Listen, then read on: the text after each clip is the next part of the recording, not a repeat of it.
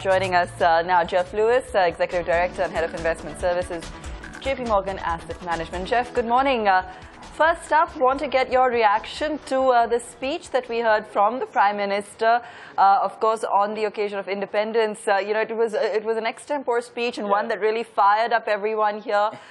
you know, in, in terms of his sheer enthusiasm and vision for India, how did it appeal to you? Uh, well, I think it, it was a speech. Uh, there were not too many specifics in it, but I think it showed what we've come to expect from Mr. Modi. This is going to be a government full of energy and determination. Um, they, they, hit the road running and they're, they're not going to stop. Uh, but also, I think it, it, emphasizes that this is going to be an inclusive government. It's going to be a government for all sections of Indian society. It's not just India Inc. It's just not just the business community. I think there was a lot of stress on that. Uh, and of course, uh, Mr. Modi referred back to India's uh, tremendous traditions of uh, democracy and pluralistic institutions, and also to longer history, such as the uh, Mauryan Emperor Ashoka, who decided that he would be an enlightened ruler. So I think this, is this was a very good speech, and uh, I think it sets a very good tone for the next four to five years. Geoff, for all these months that we've been you know, talking to you, we've been talking to some of your colleagues as well, everyone's been pretty optimistic as far as the Indian markets are concerned. And they've shown that with the kind of inflows that we've seen in terms of the foreign money.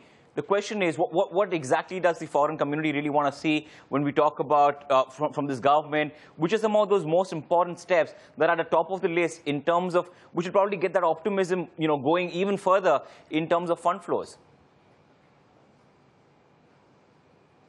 Um, well, uh, it's, it's a difficult time in that uh, expectations are very high, of course, and foreign money has started to flow in quite nicely. It's, it's not flooding in at an enormous rate. It's coming in at a, a moderate, absorbable rate. I think that's quite good.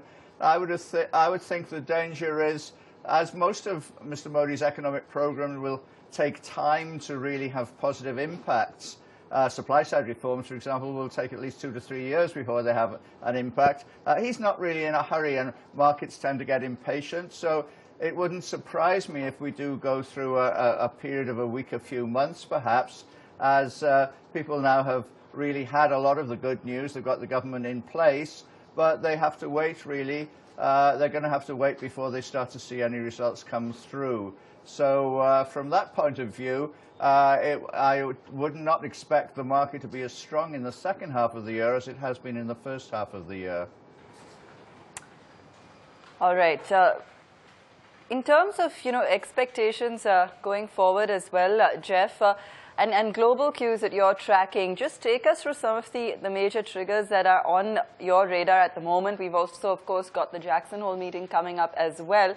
Are you expecting anything from that? Uh, in, in, terms of the, the economic numbers, uh, the, the, last uh, numbers on industrial production and uh, inflation were a little bit disappointing, I suppose. So that's telling us that um, uh, it's, it's been a long bottoming process for the Indian economy. And it, I think it's going to be a while before we see uh, unambiguously better trends in the economic data. So still a little bit of volatility. But I think uh, most investors would say, well, the odd number or two which uh, is disappointing, they they can, they're prepared almost to turn a blind eye to that because they believe that we are at an important uh, turning point in terms of the underlying trend direction. Mm. You know, you know, I was mentioning about the other bit, Geoff, that was Jackson Hole itself. Any comment there? Because that's probably the other big trigger on the global front that markets will now be keeping an eye out for. We've got that meeting later this week.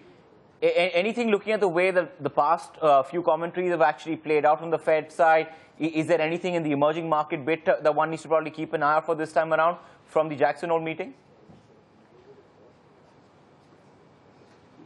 Uh, in terms of uh, our outlook on, for the emerging markets uh, and, and the Fed and interest rates being tightened, um, we think it's quite likely that the Fed will actually move a bit earlier than the consensus, so maybe the first quarter of next year. But it is going to be a normalization. And uh, beyond any sort of short knee-jerk reaction, which tends to be to last no more than three to four months, I think uh, we'll see money continue to move back into the emerging markets because, after all, we've passed that point in time when the growth divergence between the developed and the, and the emerging economies was at its narrowest. Uh, that, that time has passed. So we're getting to a, a point in time, I think, where we're going to see earnings start to improve in the emerging markets. And these pull factors, uh, in my view, will outweigh the uh, negative push factor from a, a higher US interest rate.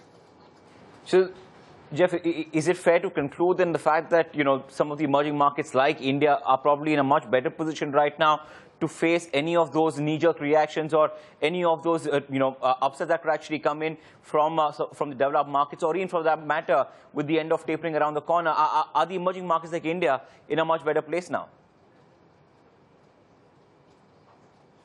Um, I think we are seeing um, a, a, change of view of uh, uh, international uh, fund managers. The latest survey showed quite a big reallocation away from Eurozone equities towards the emerging market equities. Uh, India does not look as cheap, obviously, after the rally that it's had relative to the other emerging markets, but then it has uh, much stronger fundamentals, fundamentals which could easily see earnings growth uh, averaging 15 to 20 percent over the next uh, two to three years. Uh, and that's something I think which will continue to attract uh, overseas investors to the Indian equity market.